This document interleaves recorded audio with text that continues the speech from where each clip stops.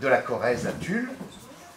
Euh, il s'appuie sur les études historiques d'une historienne dont a parlé tout à l'heure André, qui s'appelle Madame Greenberg, euh, et également sur tous les courriers que ces jeunes gens envoyaient à leur famille et qui remettent un tout petit peu en cause la version, on va dire, officielle de cette histoire, qui a quelque chose d'assez joli et romanesque. En fait, bah, elle est romanesque, mais pas aussi belle forcément qu'on pourrait la rêver.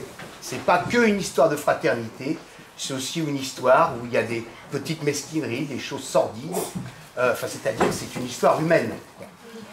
Euh, ce film, j'ai pu le réaliser grâce à André Orluc et Jean-Michel Delpeuch, qui sont les interlocuteurs que j'ai trouvés, euh, que j'ai trouvés ici et qui m'ont ouvert les portes aussi bien en France qu'en Israël. Et si vous voulez, je vais faire une petite digression personnelle. Ce film-là, je connaissais cette histoire depuis deux ans. Et il s'avère que j'avais, j'avais pas envie de faire le film, honnêtement. J'avais pas envie parce que j'avais peur d'une chose, c'était que ce film soit en même temps quelque chose qui contribue à la confusion entre l'antisémitisme qui a existé à l'époque, l'antisémitisme qui existe encore aujourd'hui.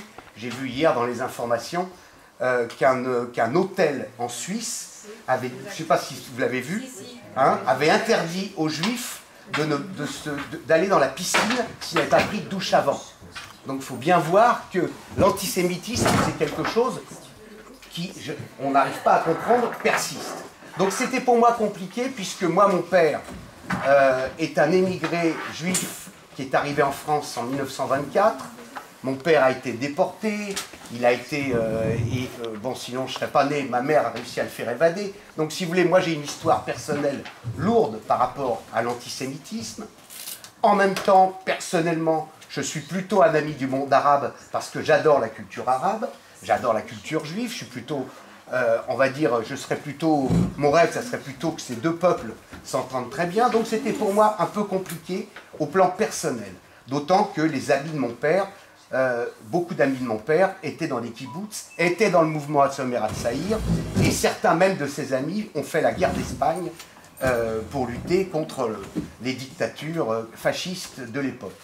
Donc c'était pas simple. Et finalement j'ai pris la décision je l'ai fait, je me suis contenté de façon très exigeante de rester dans les faits les plus précis possibles. Je n'ai pas d'avis, je raconte une histoire et je raconte ce qui se passe aujourd'hui. Maintenant, après, à vous de juger. はい。